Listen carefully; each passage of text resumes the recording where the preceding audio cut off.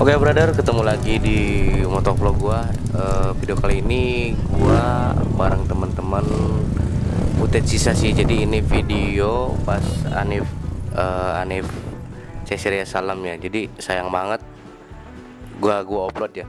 Karena pas pulang itu gerimis dan emang kalau di atas tuh banyak kabut ya tapi pas nyampe bawah nggak nyampe gerimis. Ya pokoknya di sini gua reading sangat hati-hati karena emang jalanannya full turunan. Jadi kalau dari atas itu eh,